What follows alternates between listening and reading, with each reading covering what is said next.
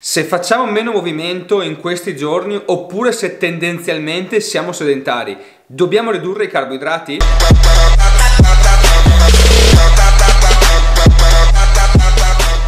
Buongiorno a tutti, benvenuti sul canale di Il Trainer. Se ancora non l'avete fatto, iscrivetevi al canale, lasciate un like al video se il contenuto potrà esservi d'aiuto.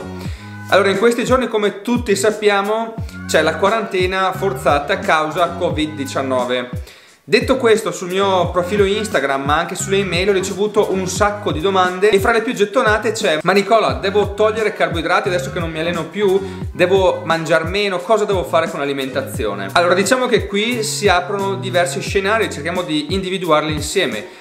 Ci sarà la persona che, visto che la palestra è chiusa, non vuole assolutamente allenarsi a casa e quindi resterà sedentaria. La persona che invece a casa proverà magari comunque a fare degli allenamenti a corpo libero e riuscirà comunque ad aumentare il suo dispendio calorico. Detto questo, siccome tendenzialmente non si può uscire a fare delle passeggiate, cercheremo di organizzare anche degli allenamenti in modo tale che il consumo calorico sia più alto possibile nel minor tempo possibile. In questo scenario ci sono altre due diramazioni, ovvero c'è chi magari era in deficit calorico, quindi stava perdendo dei chili e quindi si stava sostanzialmente rimettendo in forma e c'è chi invece stava cercando di mettere massa muscolare, quindi era in surplus calorico. Per le persone che continuano ad allenarsi, che erano in deficit calorico, secondo il mio punto di vista possono mantenere le stesse calorie di prima.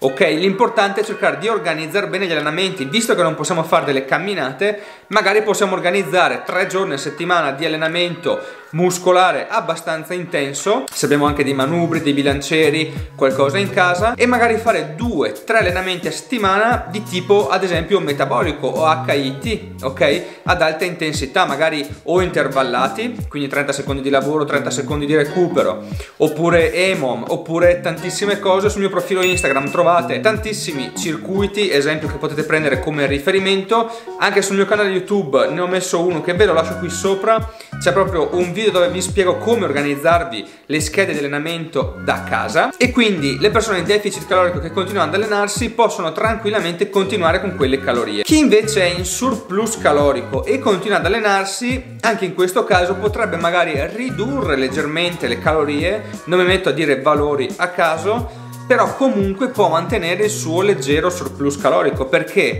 magari in palestra può allenare più gruppi muscolari, può farsi magari degli allenamenti da un'oretta e mezza più specifici, mentre invece adesso a casa non ha tutta l'attrezzatura necessaria per allenarsi, di conseguenza probabilmente il dispendio calorico sarà leggermente inferiore, quindi si possono leggermente abbassare le calorie, ma non serve più di tanto. L'altro scenario invece è chi si allenava prima era in deficit calorico a questo punto potrà tenere il deficit calorico di prima ma se vuole può provare ad abbassare ulteriormente le calorie visto che comunque adesso si muoverà molto meno.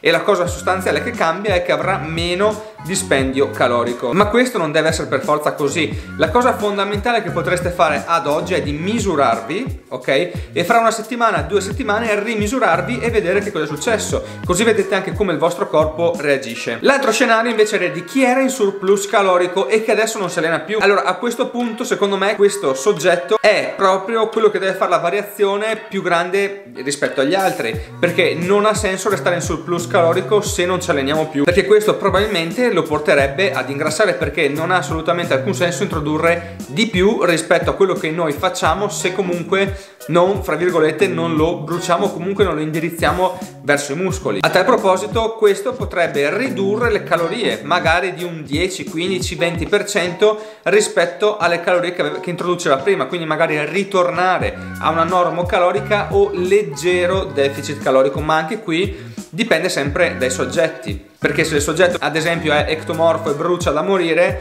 non c'è alcun problema magari le abbassa di un 5% resta su quel peso perde un po' di muscolo ma una volta ripresi gli allenamenti riprenderà nel giro di due settimane tranquillamente il muscolo che aveva già costruito perché ricordiamoci sempre che noi abbiamo la memoria muscolare. Anche su questo fronte non dobbiamo assolutamente temere. Per fortuna madre natura ci è venuta incontro con la memoria muscolare. Detto questo spero di esservi stato utile con questo video. Ditemi qui sotto nei commenti se avete qualsiasi domanda da farmi riguardo a questo periodo perché voglio esservi di supporto, voglio cercare di creare community anche qui su YouTube come ho già fatto su Instagram e sto continuando a portarla avanti tutti i giorni. Quindi una cosa fondamentale, mettete like al video, iscrivetevi al canale, condividetelo dove volete. Mi raccomando provate anche gli allenamenti che sto pubblicando in questi giorni, dateci dentro e non molliamo perché noi siamo più forti della quarantena.